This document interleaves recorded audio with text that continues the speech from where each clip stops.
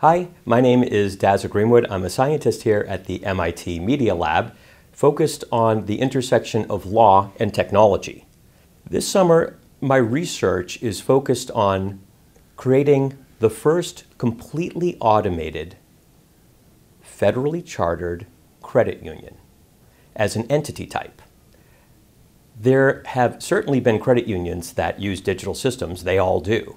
Um, the issue is they use too many. There, a system, there are systems for your monthly statements, there's systems for auditing and accounting, there's systems for account management, there's systems for governance, lots of systems. What doesn't exist for credit unions or for any legal entity that I'm aware of right now is a complete integrated, holistic, automated digital architecture. What we aim to do this summer is create the first completely online legal entity. There's three main compelling value propositions for us to be focusing on building this prototype of an automated credit union. The first one is that it's possible by looking at the statute, the regulations, other guidance from the regulator, to actually pull out a very complete set of requirements, of constraints, of basically system descriptions of what a healthy and um, legitimate credit union entity type um, would look like, how it would function, what the relationships would be, the parameters within which it would operate, even an enumerated list of all the pre-approved types of transactions and other business activities that it is um, allowed to do. It is a heavily regulated entity type, you know, being a type of financial institution, and it is completely contained within um, its own set of, of laws um, governing credit unions. It's not a subpart of banks or a subpart of other financial institutions. So there's a nice, crisp, unique important, valid, official, if you will, set of requirements that we can derive from the law. The second compelling reason is that we believe that U.S. federally chartered credit unions, and apparently this is held in common with credit unions in other countries as well, as a not-for-profit entity, as an entity where the members, the account holders, are the owners, as an entity that exists to serve the interests of the members in a, a, almost like a collective is uniquely well positioned to be a steward of people's personal data and individual identity in the digital age. And so, as we look at ways that we could apply the rules that define and govern credit unions to not just physical artifacts that you put into a safe deposit box or um, US dollar currency that you would put into account, but also other types of assets that, um, that they would be empowered to um, hold and, um, and manage for people. We think that without really any material change of existing laws, just applying the law to modern um, property types of digital assets, that it is the perfect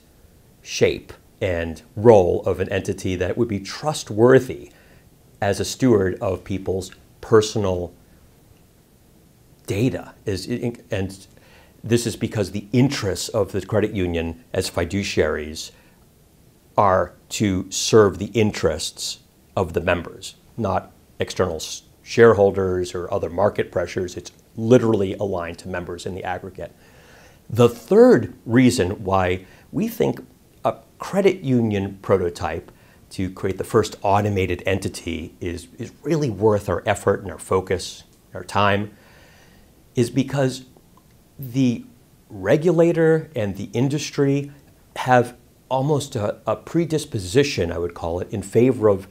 uh, promoting people to organize and deploy new credit unions for their communities. Um, there's a, a, little list, uh, a checklist that, that, that is available if you are um, workers within a, a, corporation or you have a tight neighborhood association or some other common bond to make it easy for you to put together a credit union um, to serve the um, depository and other financial needs of your members. um, this is great because when you look at the attributes of, of, uh, of a kind of prototype that can scale, um, one of the things that's important is, is something where there's lots of them and where they're renewing and refreshing themselves on a regular basis. And so there is a direct path for not just migration of existing credit unions to modern methods, but also for, and this is very powerful, the creation of the new credit unions of a year, two years, 10 and more years from now to be born truly digital with a automated, complete, coherent architecture that can be automated, easier to govern, more agile and adaptive to make the most of, um, of, of, protection and, um, and the best value of people's assets that are uh, deposited there, their digital and other assets, and also that can be overseen and can be um, uh, basically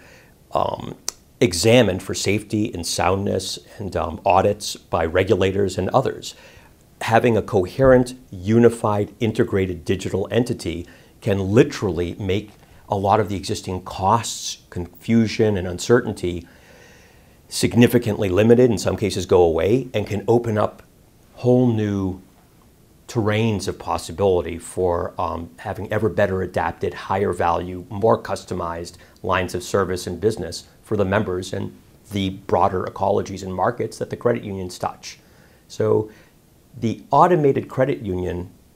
prototype project and what we hope will become pilots is, I'd say, really so far the, the, the most compelling